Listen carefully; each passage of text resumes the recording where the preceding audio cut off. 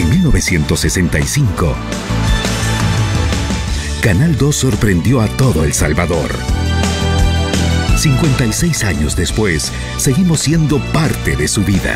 Sonría, está con el 2. 56 años.